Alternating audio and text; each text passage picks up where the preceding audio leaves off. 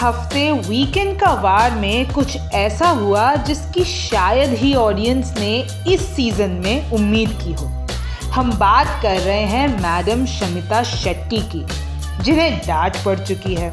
जी बिल्कुल, चौंकिए मत। माना शमिता हमेशा बिग बॉस की फेवरेट रही हैं, तभी तो बिग बॉस उनसे ज़्यादा दूर रह नहीं पाते हैं।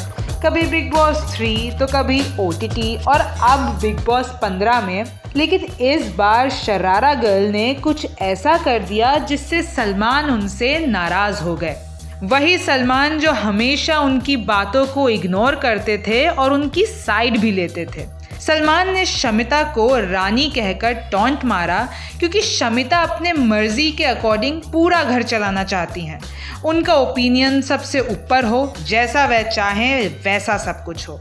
तो इस पर शमिता थोड़ी अपसेट हो जाती है और सलमान को पलट कर कहती है so what can I do I am born this way अब आज तक किसी की हिम्मत नहीं हुई कि भाई से ऐसे बात कर लें। वो भी नेशनल टेलीविज़न पर। मानना पड़ेगा शमिता, लेकिन सलमान भी कहाँ चुप रहने वाले थे?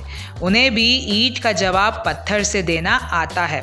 उन्होंने भी कह दिया कि अगर आपका बस चले तो एपिसोड वह साइलेंट होके निकाल दें। उन्हें भी शौक नहीं है सबसे बात करने का। अब इस पूरी बहस के बाद घर का तापमान तो काफ़ी बढ़ गया है।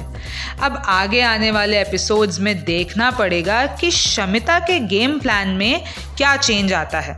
आप बने रहिए हर अपडेट के साथ A B P live dot com पर।